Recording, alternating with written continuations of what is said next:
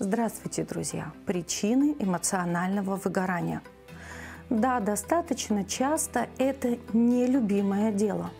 Эмоции горели-горели, потухли, да и выгорели. Но очень хорошо себе задать простой вопрос. А если сегодня ты поедешь в отпуск и отдохнешь, твои проблемы решатся? На самом деле не всегда это так происходит – не всегда отдых и путешествия решают вопрос эмоционального выгорания.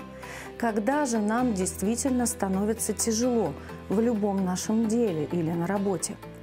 Первое – это чувство вины.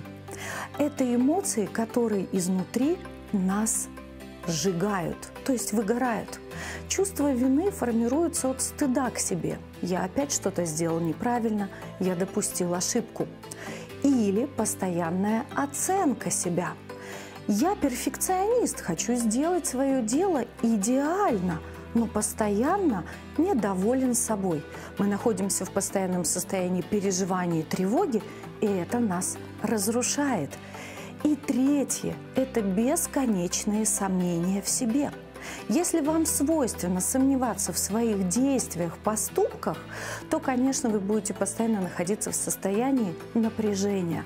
А нам же нужно в любом деле находиться в кайфе, быть легким и спокойным.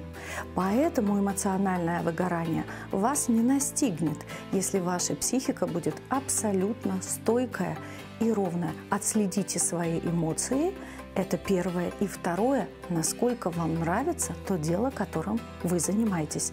И эмоциональное выгорание вам точно не грозит. Всего хорошего, друзья. Пока.